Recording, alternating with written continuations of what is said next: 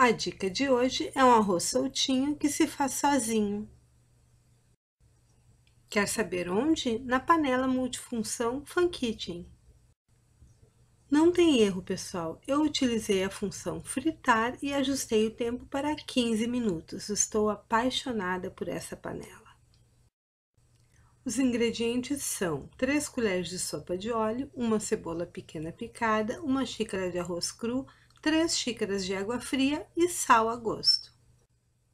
É só colocar tudo na panela e no menu eletrônico apertar a função fritar. Então, pessoal, essa função é para 30 minutos, então nós vamos ajustar o tempo para metade, 15 minutos usando a tecla menos. Em 15 minutos a 210 graus, o meu arroz ficou pronto, bem soltinho e muito saboroso, gente.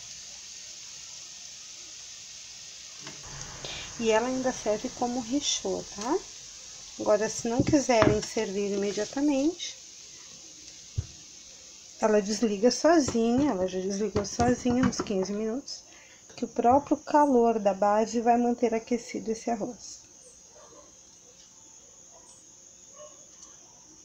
Espero que tenham gostado da dica de hoje. Curta, compartilhe, inscreva-se no canal. Beijos e até a próxima.